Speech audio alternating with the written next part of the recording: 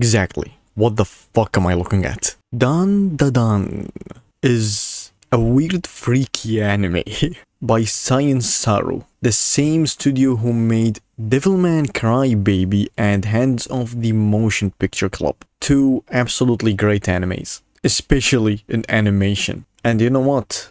It fucking shows.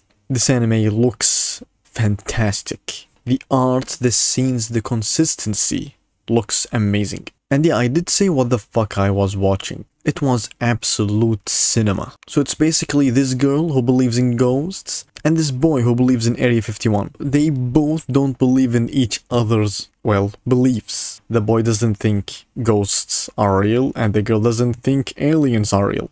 And guess what? Both are fucking real. Because the girl gets chased by freaking aliens trying to well, I don't want to say the word, but basically make babies with her to save their civilization. And the boy is, well, it's very unfortunate, but uh, a granny ghost stole his penis.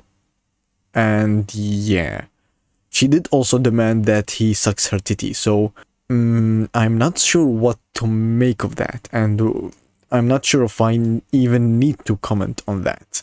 But it did happen, yes, it absolutely did happen and God forbid your soul. Both the boy and the girl, the main characters of this anime, are really fantastic. They're really entertaining. I was scared a bit in the beginning when it comes to the boy because I thought he was gonna be, oh no, the nerd, scared dude, whatever this freaking stereotype thing. But no, he's actually a great character and you'll see why.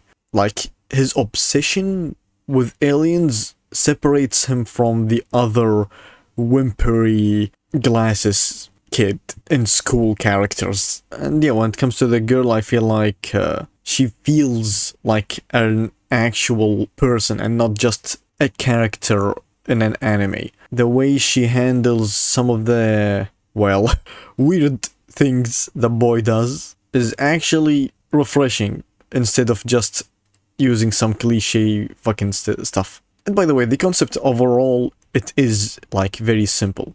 They just argued about, about like aliens and ghosts. So, well, let's go to a haunted place. Yeah, that's about it. And yeah, the concept is really cool. And from this episode alone, I feel like this girl is gonna be 95% of the fan service in this anime. Because holy shit, they're like, it's free real estate. Yes, yes. And of course, the absolute cliffhanger that is, my name's Ken Takakura. Wow.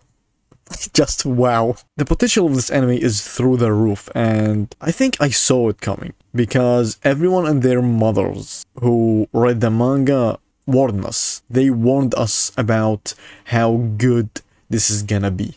And guess what? Yes, it was. So yeah, I really recommend this anime, and yep, that's about it. Get the fuck out.